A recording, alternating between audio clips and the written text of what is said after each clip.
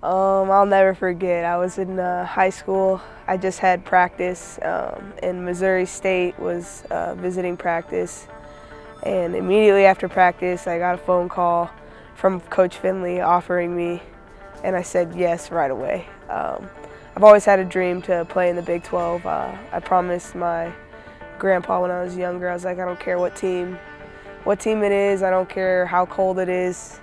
Um, I'm gonna play in the Big 12. And crazy thing, you know, I didn't even tell my dad that I committed before I committed. So that was uh, one of the funny parts. But he he asked me, you know, where's where's Iowa on the map? Do you even know like what you're getting into? And uh, I had no idea, but I was you know ready for an adventure, and um, I'm glad I ended up here. Uh, well, I've always been a Cyclone fan my entire life, um, so it's kind of an easy decision when Coach called me.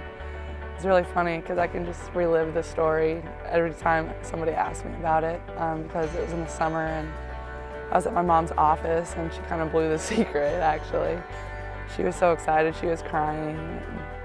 He called me and offered me and I was so happy that I started crying and I said yes right away because I've always been a Cyclones fan. It's been a dream to come play here and it's been phenomenal. My first time in uh, Ames, I attended a football game and uh, it was crazy to see like the amount of tailgating that you would see at like an NFL game because back home my uh, parents are season uh, ticket holders for the Texans so seeing that there was a lot more tailgating than some of those games I was like oh my gosh what am I getting myself into?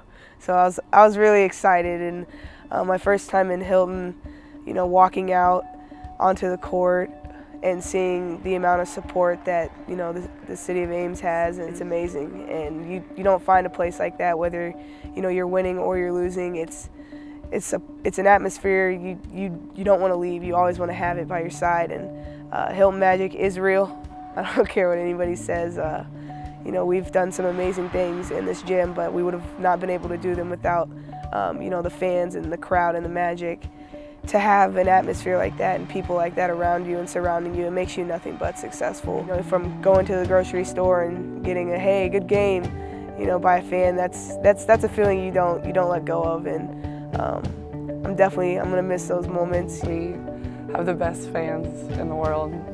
Just going to like some of the bigger schools in the Big 12, you know, like ours is full every single game, no matter who we play, even in like the preseason games and to be able to walk out and just hear the fans scream for you. And they also have like that Hilton Magic feel that helps you come back from a loss, you know? Or you might be down and you end up winning because, you know, of Hilton Magic. And it's, I'm definitely going to miss that, being able to be on the court. And I'm sure, you know, like I'll also join Hilton Magic next year because I'd love to come watch games. But being on the court is totally different. I'm definitely going to miss that feeling. It's a bitter-sweet feeling. Um, I love Iowa State, and uh, I'll be be so happy to graduate and um, take what I've learned here and uh, you know apply it to the real world. I plan to you know live here in Ames um, this next year, and then I have plans to go to the military.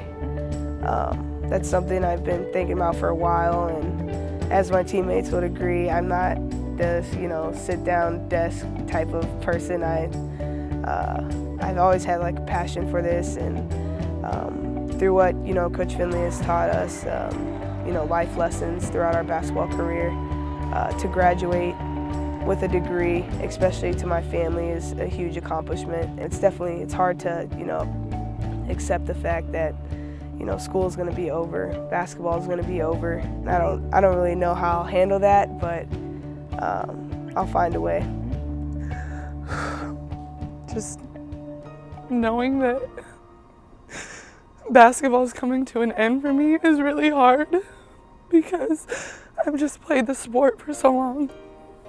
And, and knowing that it's time to hang up the shoes and the jersey, it's not the best feeling, but you know, the saying goes, all good things have to come to an end. So I mean, but that's also good, you know, I get to learn to be an adult the right way and I'll have a bachelor's degree and so I should be able to find a good job in my career.